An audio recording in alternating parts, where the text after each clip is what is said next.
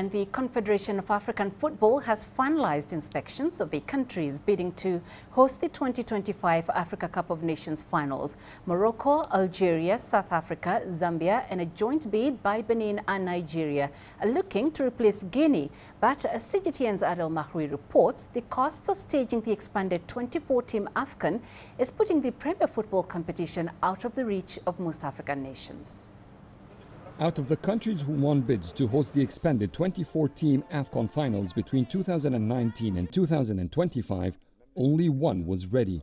And after CAF deemed Guinea's sports facilities inadequate to host the 2025 AFCON, five other nations submitted bids to replace it. Morocco, Algeria, a joint Nigeria-Benin bid, South Africa and Zambia are interested, but the latter is considering pulling out.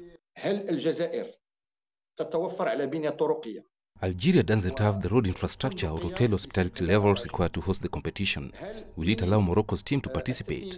Benin is not ready. Though the Nigeria part of the bid is, Zambia is not ready as well. But we must know these countries are rushing to host the 2025 edition, not the latter ones, because there are talks between CAF and FIFA that this edition may be a qualifying round for the 2026 FIFA World Cup. CAF boss Patrice Motsepe had earlier announced that the organization can't award successive AFCONs to the same African region. With the 2023 edition set in Cote d'Ivoire, that could see the Nigeria Benin bid fall to the bottom of the list. Zambia, the 2012 AFCON champions, have never hosted the competition before. Morocco has exceptional resources. Algeria too has the same and of course South Africa which hosted the 2010 FIFA World Cup. Morocco may have the best chances of hosting. It only hosted the AFCON once and that was 35 years ago. It can offer 8 stadiums to host matches unlike Algeria which only has 5.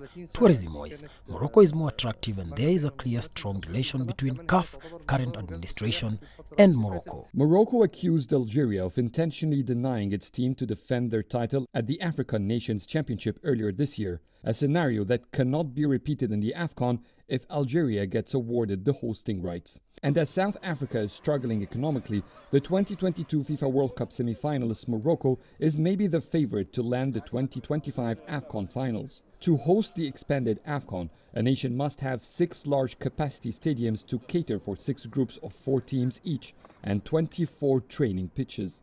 Guinea said it needed some 800 million US dollars to build the necessary infrastructure needed to host the AFCON, a staggering figure for most African nations. The purpose of hosting the Africa Cup of Nations across the continent is to help in developing football infrastructure. Analysts say that CAF rushed when it expanded the competition from 16 to 24 teams, because after so many hosts failed, it has become clear that the AFCON is only for the countries that are already ready. عادل محروي سي جي تي ان كايرو.